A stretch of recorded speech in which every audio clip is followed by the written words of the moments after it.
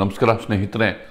ರಾಜಧಾನಿ ದಿಲ್ಲಿ ಇದೀಗ ರೈತರ ಪ್ರತಿಭಟನೆಯಿಂದಾಗಿ ಒಂದು ರೀತಿಯಲ್ಲಿ ಅಕ್ಷರಶಃ ರಣರಂಗ ರಣರಂಗಾಗಿದೆ.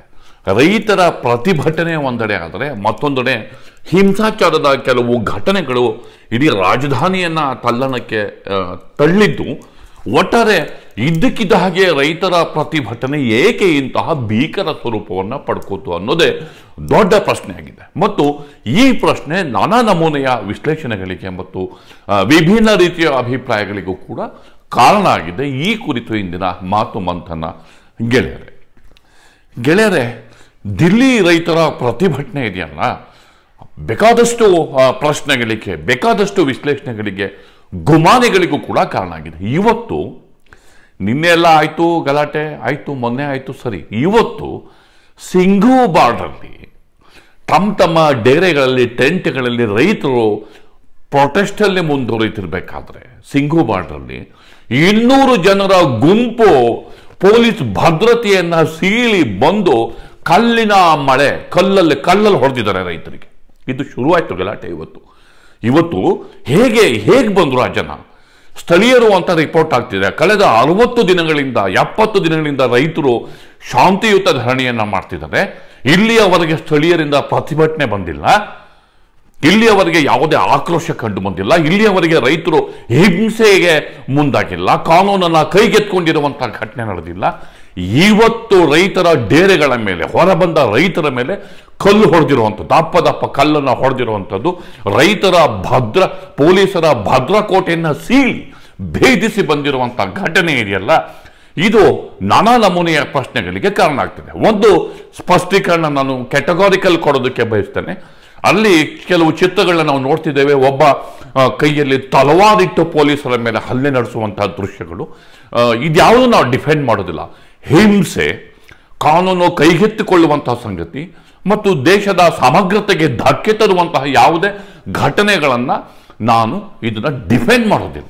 ಆದರೆ ಚಳುವಳಿ ಮತ್ತು ರೈತರ ಒಂದು ಬೇಡಿಕೆಗಳು, ಹೋರಾಟದ ರೀತಿ ಮತ್ತು ಕೆಲವು ಐಸೋಲೇಟೆಡ್ ಪ್ರಕರಣಗಳನ್ನು, ಕೆಲವು ಪ್ರತ್ಯೇಕ ಘಟನೆಗಳನ್ನು ಪ್ರತ್ಯೇಕವಾಗಿಟ್ಟು ಈ ಚಳುವಳಿಯನ್ನ, ಈ ಪ್ರತಿಭಟನೆಯನ್ನ ನೋಡಬೇಕಾಗಿ ಬರುತ್ತೆ ಅನ್ನೋ ಮಾತನ್ನ ಸ್ಪೆಸಿಫಿಕ್ ಆಗಿ ಹೇಳೋದಕ್ಕೆ ಬಯಸ್ತೀನಿ. ಯಾಕೆಂತಂದ್ರೆ ಹಿಂಸೆ ಖಂಡನಾರ್ಹ. ಪ್ರೊಫೆಸರ್ ನಂಜುನ್ ಸ್ವಾಮಿ ಅವ್ರನ್ನ ನಾನು ಹತ್ತಿರದಿಂದ ಬಲ್ಲೆ ಅದನ್ನ ಈ ಸಂದರ್ಭದಲ್ಲಿ ಅವ್ರನ್ನ ನಾನು ನೆನಪಿಸ್ಕೊಳ್ಳಕ್ಕೆ ಬಯಸ್ತೇನೆ. ಯಾವುದೇ ಪ್ರತಿಭಟನೆ ಇರಬೇಕಾದ್ರೆ ಪ್ರೊಫೆಸರ್ ನಂಜುನ್ ಸ್ವಾಮಿ ಹಳ್ಳಿ ಹಳ್ಳಿಗಳಲ್ಲಿ ಪ್ರವಾಸವನ್ನು ಕೈಗೊಳ್ಳಬೇಕಾದ್ರೆ ದೊಡ್ಡ ಪ್ರತಿಭಟನೆಯನ್ನ ಮಾಡಬೇಕಾದ್ರೆ ರ್ಯಾಲಿಗಳನ್ನ ಮಾಡಬೇಕಾದ್ರೆ, ಪೋಸ್ಟರ್ಗಳನ್ನು ಮಾಡಬೇಕಾದ್ರೆ, ರೈತ ಸಂಘದ ಪೋಸ್ಟ್ಗಳನ್ನು ಮಾಡಬೇಕಾದ್ರೆ ಮಹಾತ್ಮ ಗಾಂಧೀಜಿ ಅವರ ಪ್ರತಿಭಟನೆಯ ಸಂಕೇತವಾಗಿತ್ತು. ಕರ್ನಾಟಕದಲ್ಲಿ ರೈತ ಚಳುವಳಿಯ ಮೂಲ ಸ್ಫೂರ್ತಿಯ ನೆಲೆ ಶಾಂತಿ. ಅದು ಹಿಂಸೆಯ ವಿರೋಧಿ ಪ್ರತಿಭಟನೆ ಅಂತ ನೇರವಾಗಿ ಹೇಳ್ತಾ ಇದ್ರು. ಗಾಂಧೀಜಿ ನಮ್ಮ ರೈತ ಚಳವಳಿಯ ಪ್ರೊಫೆಸರ್ ಅವರ ಸ್ಫೂರ್ತಿಯಾಗಿದ್ದರು ಹೀಗಾಗಿ ಒಂದು ತಾತ್ವಿಕ ಮತ್ತು ಸೈದ್ಧಾಂತಿಕ ನೆಲೆಗಟ್ಟು ಕರ್ನಾಟಕದ ಈ ಒಂದು ರೈತ ಚಳವಳಿಗೆ ಬಂದಿತ್ತು. ಲಾಮ್ ಮನೋಹರ್ ಲೋಹಿಯಾ ಅವರಿಂದ ಗಾಢವಾಗಿ ಪ್ರಭಾವಿತರಾಗಿದ್ದರು. ಪ್ರೊಫೆಸರ್ ನಂಜುಂಡ ಸ್ವಾಮಿಯವರು ಮತ್ತು ಸಮಾಜವಾದಿ ಚಳವಳಿಯ ಮೂಲಕವಾಗಿ ತಮ್ಮ ವ್ಯಕ್ತಿತ್ವವನ್ನು ರೂಪಿಸಿಕೊಂಡಂತಹ ವ್ಯಕ್ತಿಯಾಗಿದ್ದರು. ಅವರ ಮೇಲೆ ಕುವೆಂಪು ಅವರ ಪ್ರಭಾವ ಹೆಚ್ಚಿತ್ತು. ಹಾಗೆಯೇ ತೇಜಸ್ವಿ ಅವರು ಕರದಾಲ್ ಶಾಮಣ್ಣ ಅವರು, ಅವರ ರಾಮದಾಸ್ ಅವರು ಅವರ ಸಮಕಾಲೀನರು ಆಗಿದ್ದರು. ಹೀಗಾಗಿ ಕರ್ನಾಟಕದ ರೈತ ಚಳವಳಿ ಗಟ್ಟಿಗೊಳ್ಳೋದಕ್ಕೆ ಸಾಧ್ಯ ಇತ್ತು. ಹಾಗೆಯೇ ಟಿಕಾಯತ್ ಕೂಡ. ಉತ್ತರ ಪ್ರದೇಶದ ಟಿಕಾಯತ್ ಕೂಡ ಗಾಂಧಿ ಚಳವಳಿಯಿಂದ ಮತ್ತು ರೈತರ ಮುಗ್ಧತೆಯಿಂದ, ರೈತರ ಸಹಜವಾದಂತಹ ಆಕ್ರೋಶದಿಂದ ಮೂಡಿ ಬಂದಂತಹ ನಾಯಕ ಅವರ ಮಗ ರಾಕೇಶ್ ಟಿಕಾಯತ್.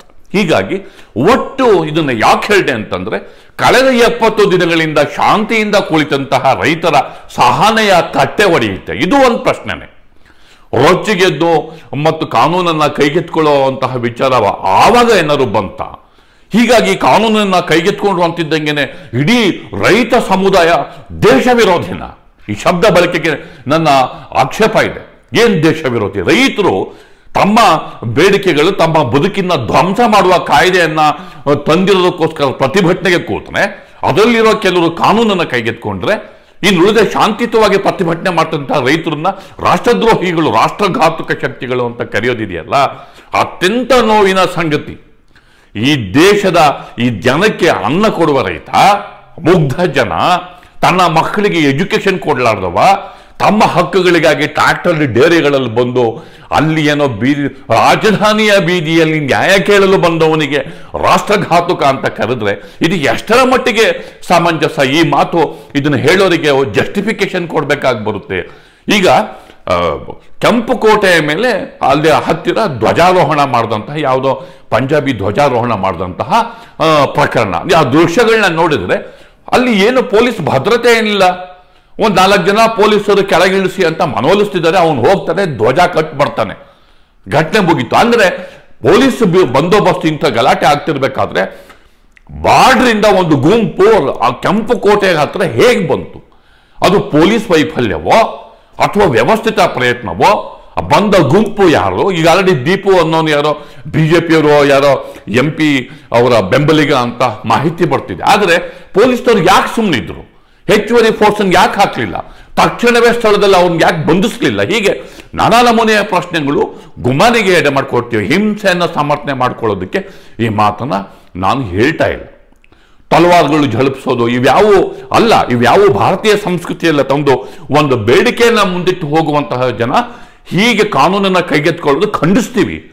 ಅದು ಸರಿಯಲ್ಲ. ರೈತರು ನಾವು ಏನ್ ಬೇಕಿದ್ರೂ ಮಾಡ್ಬೋದು ಅನ್ನೋದು ಸರಿಯಲ್ಲ.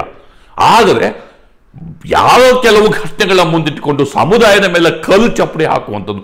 ಭಾರತದಲ್ಲಿ ಯಾವತ್ತೂ ಕೂಡ ಆಗಿಲ್ಲ ರೈತ ಸಮುದಾಯನ ರಾಷ್ಟ್ರದ್ರೋಹಿಗಳು ಅಂತ ಕರೆದಂತಹ ವಿಚಾರ. ಟಿಕಾಯತ್ ಅವರ ಭಾಷಣವನ್ನು ನಿನ್ನೆ ರಾತ್ರಿ ಕೇಳಿದಾಗ ಹೀಗಾಗಿ ಇದು ಈ ಸಿ ಎ ಚಳವಳಿಯ ಸಂದರ್ಭದಲ್ಲಿ ಅಥವಾ ಶಾಹೀನ್ ಭಾಗ ಅಲ್ಲಿ ನಡೆದಂತಹ ಚಳವಳಿಯಲ್ಲಿ ಅಲ್ಲಿ ಪರ್ಯಾಯ ಗುಂಪುಗಳನ್ನ ಸೃಷ್ಟಿ ಮಾಡಿ, ಅಲ್ಲಿ ಸಂಘರ್ಷಕ್ಕೆಡಿ ಮಾಡಿ, ಅಲ್ಲಿ ಪ್ರತಿಭಟನೆಯನ್ನು ನಿಲ್ಲಿಸ್ತೀವಿ ಅನ್ನುವಂತಹ ತಂತ್ರವನ್ನು ಇಲ್ಲೇನದು ಪ್ರಯೋಗ ಆಯ್ತಾ? ರೈತರ ಮೇಲೆ. ಇದು ಕೇಳಲೇಬೇಕಾದಂತಹ ಪ್ರಶ್ನೆ. ಈಗ ಒಂದು ಗುಂಪು ಹೇಳುತ್ತೆ, ಹತ್ತು ಸರಿ ನೆಗೋಸಿಯೇಷನ್ಗೆ ಹೋದ್ರು. ಹನ್ನೊಂದು ಸರಿ ಹತ್ತು ಹನ್ನೊಂದು ಸರಿ ನೆಗೋಸಿಯೇಷನ್ಗೆ ಹೋದ್ರೂ ಕೂಡ ರೈತರಲ್ಲಿ ಕಾನ್ಫಿಡೆನ್ಸ್ ಕ್ರಿಯೇಟ್ ಮಾಡಕ್ಕೆ ಯಾಕೆ ಆಗಲಿಲ್ಲ ರೈತರ ಮಕ್ಕಳ ಬಗ್ಗೆ ಮಾತಾಡುವಂತಹ ಪ್ರಧಾನಿ ಒಂದು ಸಂವಾದವನ್ನ ಅವ್ರ ಕೈಲಿ ಯಾಕೆ ಮಾಡೋಕ್ಕಾಗಲಿಲ್ಲ? ಇದು ಮುಖ್ಯವಾದಂತಹ ಪ್ರಶ್ನೆ. ಅದು ಮತ್ತೆ ಟಿಪಿಕಲ್ ಪೊಲೀಸ್ ಫೈನಲ್ ಹೋಗ್ಬೇಕಾದ್ರೆ, ಕೇಳ್ಬೇಕಂದ್ರೆ ಈ ಇಂಟೆಲಿಜೆನ್ಸ್ ಫೈಲ್ಯೂರ್ ಆಯ್ತಾ? ಮತ್ತು ಅನುಮತಿ ಕೊಡದೇ ಇರುವಂತಹ ಮಾರ್ಗದಲ್ಲಿ ಬಂದ ರೈತರ ಗುಂಪು, ಯಾವುದು ರೈತರು ಕೇಳಿದ್ದಾರೆ ಇದನ್ನ. ಅನುಮತಿ ಕೊಡದೇ ಇರುವಂತಹ ಮಾರ್ಗದಲ್ಲಿ ಬಂದಂತಹ ಗುಂಪು, ಅವ್ರನ್ನ ಪೊಲೀಸರು ಹೇಗೆ ಅಲೋ ಮಾಡಿದ್ರು? ಅವ್ರನ್ನ ಪೊಲೀಸರು ಹೇಗೆ ಅಲೋ ಮಾಡಿದ್ರು? ಯಾಕೆ ಬಂದ್ರು ಅವರು? ಅವ್ರು ಯಾರು? ಇತ್ಯಾದಿ ಈವರೆಗೂ ಯಾಕೆ ಬಂಧಿಸಿಲ್ಲ ಅವ್ರನ್ನ? ಈ ಎಲ್ಲ ಪ್ರಶ್ನೆಗಳು ಇಲ್ಲಿ ಮುಖ್ಯವಾಗಿ ಉದ್ಭವ ಆಗ್ತವೆ ಇವತ್ತಿನ ಘಟನೆಗೆ ಮತ್ತೆ ಬರೋದಾದ್ರೆ, ಈಗ ಸಿಂಗಮ್ಮ, ಸಿಂಗ ಸಿಂಗು ಬಾರ್ಡರ್ ಅಲ್ಲಿ ಏನಾಗುತ್ತೆ? ಕಲ್ಲಲ್ಲಿ ಹೊಡಿತಾರೆ. ಎರಡು, ಮೂರು ಸುತ್ತು ಪೊಲೀಸ್ ಇದ್ದಾರೆ. ಆ ಪೊಲೀಸರ ಪೊಲೀಸರ ಕೋಟೆಯನ್ನು ಹೇಗೆ ಭೇದಿಸೋದಕ್ಕೆ ಸಾಧ್ಯ ಆಯ್ತು? ಪೊಲೀಸರು ಅವನ್ನ ಯಾಕೆ ತಡೆಗಟ್ಟಲಿಲ್ಲ? ಪೊಲೀಸರು ಲಾಠಿ ಚಾರ್ಜ್ ಮಾಡಬೇಕಾಗಿದ್ದು ಅವ್ರ ವಿರುದ್ಧ. ಆ ಗುಂಪನ್ನು ಚದುರಿಸಬೇಕಾಗಿತ್ತು. ಆ ಗುಂಪು ಕಲ್ಲು ಹಿಡ್ಕೊಂಡು ರೈತರ ಡೇರೆಗಳ ಹತ್ರ ಯಾಕೆ ಬಂದರು? ಆ ಕಲ್ಲಲ್ಲಿ ಒದೆ ತಿನ್ಬಿಟ್ಟು ಸಹಜವಾಗಿ ಪ್ರೊಟೆಸ್ಟ್ ಮಾಡೇ ಮಾಡ್ತಾರೆ. ಸಹಜವಾಗಿ ಪ್ರತಿರೋಧ ಕಂಡು ಬಂದೇ ಬರುತ್ತೆ. ಈಗ ಪೊಲೀಸರು ಇದನ್ನೇ ಬಳಸ್ಕೊಂಡು ಲಾಠಿ ಚಾರ್ಜು, ಆಶ್ರವಾಯು ಪ್ರಹಾರ ಮಾಡುವುದರ ಮೂಲಕ. ಅಂದರೆ ಆ ಸಿಂಗೋ ಬಾರ್ಡ್ರಲ್ಲಿ ಆ ಪ್ರತಿಭಟನಾ ನಿರತ ರೈತರನ್ನ ಎತ್ತಂಗಡಿ ಮಾಡಬೇಕಾಗುತ್ತಾ? ಇದು ಇಲ್ಲಿ ಮುಖ್ಯವಾದಂತಹ ಪ್ರಶ್ನೆ. ಮತ್ತೆ ಮತ್ತೆ ಹೇಳ್ತೀನಿ, ಹಿಂಸೆಯನ್ನು ಸಮರ್ಥನೆ ಮಾಡೋದು ಮತ್ತು ರಾಷ್ಟ್ರದ ಭಾವನೆಗಳಿಗೆ, ರಾಷ್ಟ್ರೀಯ ಏಕತೆಗೆ, ರಾಷ್ಟ್ರದ ಸಮಗ್ರತೆಗೆ ಧಕ್ಕೆ ತರುವಂತಹ ಬಾವುಟ, ಧ್ವಜ, ಭಾವನಾತ್ಮಕವಾದಂತಹ ವಿಚಾರ. ಅದಕ್ಕೆ ಅಪಚಾರ ಆಗಿದ್ರೆ ಯಾರೂ ಕೂಡ ಅದನ್ನ ಸಹಿಸಕ್ಕಾಗೋದಿಲ್ಲ. ಅದರಲ್ಲಿ ಎರಡೇ ಮಾತಿಲ್ಲ. ಅದರಲ್ಲಿ ಮುಲಾಜಿಲ್ಲ. ಅದು ರೈತರು ಆಗಿರ್ಬೋದು, ಯಾರಾದರೂ ಆಗಿರ್ಬೋದು ಅಂಥವನ್ನ ಬಗ್ಬಡಿಬೇಕು ಆದರೆ ಮಾರ್ಗದಲ್ಲೇ ಇರೋದನ್ನ ಮಾಡಿದ್ದಾರೆ ಅಂತ ಬ್ರ್ಯಾಂಡ್ ಮಾಡೋದಿದೆಯಲ್ಲ? ತಪ್ಪು. ಇನ್ನು ಪ್ರತಿಭಟನೆ ನಿರತ ಸಿಖ್ಖರ ವಿಚಾರಕ್ಕೆ ಬಂದಾಗ ಸ್ವಾಭಿಮಾನಿ ಸಿಖ್ಖರು ಸಿಖ್ಖರ ಜೊತೆ ಚೆಲ್ಲಾಟ ಮಾಡಬೇಡಿ. ಖಾಲಿಸ್ತಾನ ಪ್ರತ್ಯೇಕವಾದದ ಧ್ವನಿ ಎತ್ತೋರ್ನ ಬಗ್ಬಿಡಿರಿ. ಅದರಲ್ಲಿ ಎರಡು ಮಾತಿಲ್ಲ. ರೈತ ಚಳುವಳಿಗೂ ಪ್ರತ್ಯೇಕ ಪಂಜಾಬಿಗೂ ಸಂಬಂಧ ಇಲ್ಲ. ಈಗ ಆಲ್ರೆಡಿ ಪ್ರತ್ಯೇಕ ರಾಜ್ಯದ ಪ್ರತ್ಯೇಕ ದೇಶ ಕಟ್ಟುವ ಅವರ ಯೋಜನೆ ಏನಾಯಿತು ಅಂತ ಎಲ್ರಿಗೂ ಕೂಡ ಗೊತ್ತು. ಇದು ಸಮರ್ಥನೀಯ ಅಲ್ಲ. ಆದರೆ ಧ್ವಜ ಇಟ್ಕೊಂಡು ರೈತರು ಅಲ್ಲಿ ಪಂಜಾಬ್ನವ್ರು ಆಗ್ತಿದ್ದಂಗೆ ಖಲಿಸ್ತಾನ್ಗಳು ಅಂತ ಇಡೀ ಇಡೀ ಪಂಜಾಬಿನ ಜನ ಸಮುದಾಯಕ್ಕೆ ಸಿಖ್ ಸಮುದಾಯಕ್ಕೆ ಬ್ರ್ಯಾಂಡ್ ಮಾಡಕ್ ಹೋದರೆ ಭವಿಷ್ಯದಲ್ಲಿ ದೊಡ್ಡ ಅಪಾಯವನ್ನು ಸೆರಗಿನ, ಸೆರಗಲ್ಲಿ ನೀವು ಕಟ್ಕೋಬೇಕಾಗುತ್ತೆ. ಯಾರೇ ಆಗಲಿ, ಇದು ಈ ಥರ ಆಗಬಾರ್ದು. ಅವರು ಕೂಡ ಈ ನೆಲದ ಮಕ್ಕಳು ಸೇನೆ, ಜೈ ಜವಾನ್, ಜೈ ಕಿಸಾನ್ ಅನ್ನೋದು ಅಕ್ಷರಶಃ ಸಿಖ್ರಿಗೆ ಅನ್ವಯ ಆಗುತ್ತೆ. ಅವರು ಕೃಷಿಯಲ್ಲಿ ಎತ್ತಿದ ಕೈ, ದೇಶ ಕಾಯೋದಲ್ಲೂ ಎತ್ತಿದ ಕೈ. ಕೃಷಿನಲ್ಲಿ ಮನೆಗೆ ಹೇಗೆ ಇಡೀ ಕುಟುಂಬ ಕೆಲಸ ಮಾಡ್ತಿರುತ್ತೋ, ಸೇನೆನಲ್ಲೂ ಕೂಡ ಅವರ ಕೊಡುಗೆ, ಅದು ಪ್ರಶ್ನಾತೀತ. ಈ ದೇಶದ ಕಮಿಟ್ಮೆಂಟ್ಗೆ ದೇಶಭಕ್ತಿಯಲ್ಲಿ ಅವರ ನಿಲುವು ಪ್ರಶ್ನಾತೀತ. ಅಲ್ಲಿಯ ನೆಲದ ಮಕ್ಕಳನ್ನ ಬ್ರ್ಯಾಂಡ್ ಮಾಡಬೇಡಿ. ಯಾರೋ ಒಂದಿಬ್ರನ್ನ ಇಟ್ಕೊಂಡು ಇಡೀ ಸಮುದಾಯವನ್ನು, ಇಡೀ ರಾಜ್ಯವನ್ನು ಬ್ರ್ಯಾಂಡ್ ಮಾಡೋದಿದೆಯಲ್ಲ, ಅದು ತಪ್ಪು. ಅದು ಮಾತ್ರ ಆಗಬಾರ್ದು. ಮೂಲತಃ ಧರ್ಮದ ಬಗ್ಗೆ ಅಭಿಮಾನ ಇರೋರು ತನ್ನ ಶ್ರಮದ ಬಗ್ಗೆ ಸ್ವಾಭಿಮಾನ ಇರೋರು, ದೇಶದ ಬಗ್ಗೆ ಅಗಾಧವಾದ ಭಕ್ತಿ ಇರುವಂತಹ ಜನ, ಅಲ್ಲಿಯ ರೈತರು, ಅಲ್ಲಿ ಒಂದೆಡೆ ರೈತರು ಕುಟುಂಬದಲ್ಲಿ ಮತ್ತೊಂದೆಡೆ ದೇಶ ಕಾಯುವ ಕೆಲಸದಲ್ಲಿರ್ತಾರೆ ಇಂತಹ ಜನರನ್ನ ಅಪಮಾನ ಮಾಡಬೇಡಿ. ಸ್ವಾಭಿಮಾನಕ್ಕೆ ಧಕ್ಕೆ ತರುವುದು, ಸುದ್ದಿಗಳ ಅಪಪ್ರಚಾರಗಳ ಮೂಲಕ ಬಗ್ಗು ಬಡಿಯೋದು ಸರಿಯಲ್ಲ. ಇದನ್ನ ಸ್ಪೆಸಿಫಿಕ್ ಆಗಿ ಹೇಳ್ತೀವಿ ಅದು ಬಿಟ್ಟು ಇನ್ನು ಚಳವಳಿಗಾರರು ಅಷ್ಟೇ, ಕಾನೂನನ್ನ ಮೀರಬೇಡಿ. ರೈತರು ಶಾಂತಿಯುತ ಪ್ರತಿಭಟನೆ, ಶಾಂತಿಗೆ ಯಾವತ್ತಿದ್ರೂ ಗೆಲುವಾಗುತ್ತೆ. ಕಾನೂನನ್ನು ಕೈಗೆತ್ಕೊಂಡ್ರೆ ನಿಮ್ಮ ಬೇಡಿಕೆಗಳಿಗೆ, ನಿಮ್ಮ ಯತ್ನಕ್ಕೆ ಧಕ್ಕೆ ತರುತ್ತೆ. ಇವೆಲ್ಲವನ್ನ ಮೀರಿ ಅಂತಿಮವಾಗಿ ಹೇಳೋದು ಕಿಲಾಡಿತನಕ್ಕೆ ಕೊನೆ ಇರುತ್ತೆ. ಇದು ಎಲ್ರಿಗೂ ಅನ್ವಯ. ಬಗ್ಗು ಬಡಿಯಲಿಕ್ಕೆ ಚಳವಳಿಗಳನ್ನು ಬಗ್ಗು ಬಡಿಯುವ ಪರಂಪರೆ ಭಾರತದಲ್ಲಿದೆ, ಕರ್ನಾಟಕದಲ್ಲೂ ಇದೆ. ರೈತ ಚಳವಳಿನೂ ಕೂಡ ಬಗ್ಗು ಬಡಿಯುವ ಯತ್ನ ನಡೀತು ಆದ ಚಳವಳಿ ಹೋಗಲಿಲ್ಲ. ಆ ನಂತರ ಅವರವರ ಆಂತರಿಕ ಕಿತ್ತಾಟಕ್ಕೆ ಚಳವಳಿ ಛಿದ್ರ ಆಯಿತು ಸಂಘಟನೆ ಛಿದ್ರ ಆಯಿತು ಜನ ಸಮುದಾಯದ ಚಳವಳಿಯನ್ನು ಛಿದ್ರ ಮಾಡೋದು ಸರಿಯಿಲ್ಲ. ಟಿಕಾಯತ್ ಅವರ ಕಣ್ಣಲ್ಲಿ ನೀರು ಬರ್ತಿದ್ದ ಹಾಗೆಯೇ ಸಹಸ್ರಾರು ಜನ ಇವತ್ತು ದಿಲ್ಲಿಯತ್ತ ದೌಡಾಯಿಸಿ ಬಂದಿದ್ದಾರೆ. ಹೀಗಾಗಿ ಜನಶಕ್ತಿಯ ಮುಂದೆ ಯಾವುದೇ ಯಾವುದೇ ಯತ್ನ, ಯಾವುದೇ ಕಿಲಾಡಿತನ ತಂತ್ರ ಫಲಿಸುವುದಿಲ್ಲ. ಇದು ಸರ್ಕಾರಕ್ಕೂ ಕೂಡ ಗೊತ್ತು.